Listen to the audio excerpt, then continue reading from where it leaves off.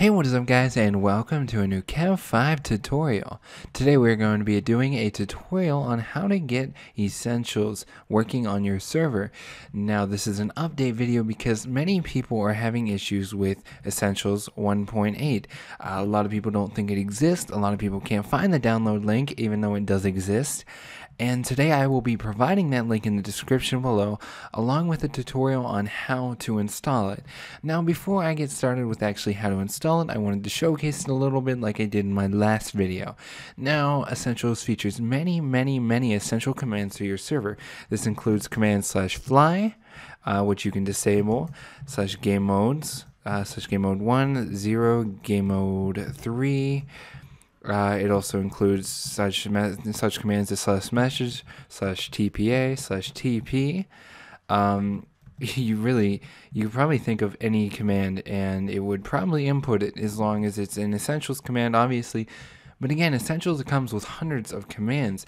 Um, slash ender chest. Um, for example, slash craft. I think yeah, slash craft is crafting table, which is a portable crafting table. There is so many possibilities with this plugin. It is endless. Also comes with a chat manager.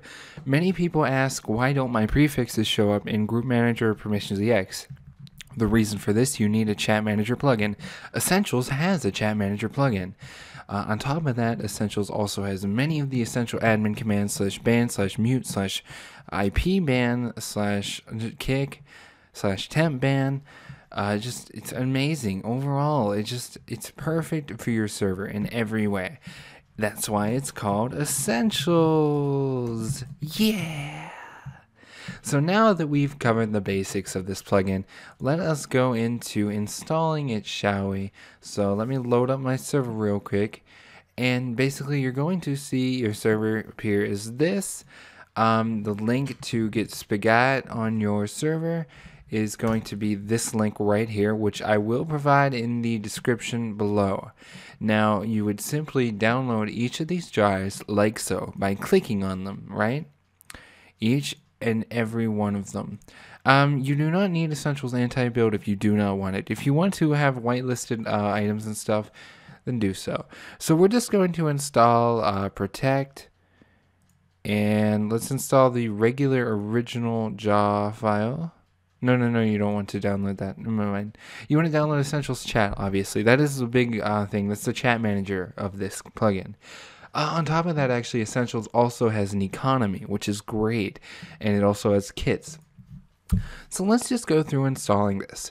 Now say you just recently updated from a 1.7.9 or 1.7.10 server to 1.8 you would go into your plugins folder.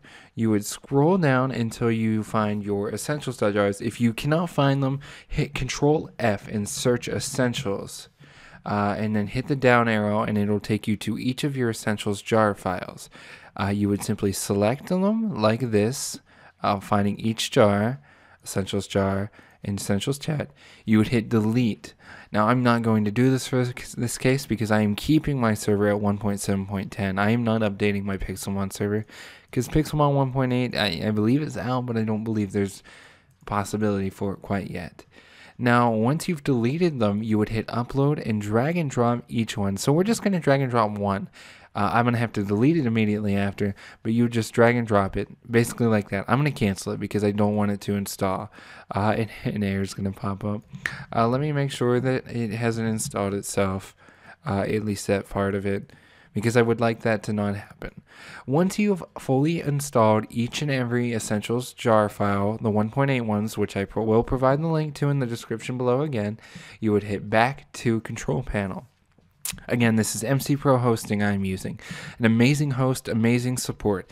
I please check them out. There's a link in the description below. Um, they're a great server hosting company. Once you've done all that, you're going to want to hit restart and you're going to want to wait for your server to restart.